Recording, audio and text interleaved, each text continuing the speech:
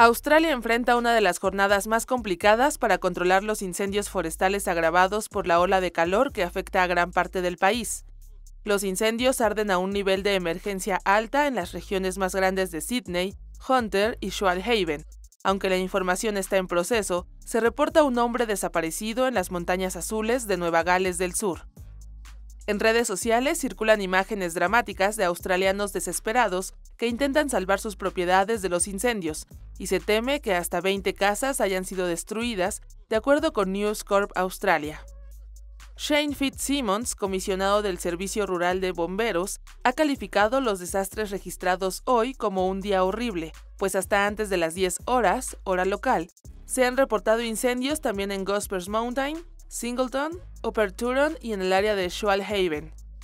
Con una muerte confirmada hasta el momento en Adelaide Hills, los bomberos siguen luchando por contener el fuego que avanza con vientos de hasta 90 km por hora. Algunas carreteras se mantienen cerradas y se espera que las condiciones mejoren e incluso en algunas zonas se reportan ligeras lluvias. Australia sufre incendios forestales cada año, pero el comienzo temprano e intenso de esta temporada, junto con las temperaturas récord, ha generado preocupaciones sobre el calentamiento global.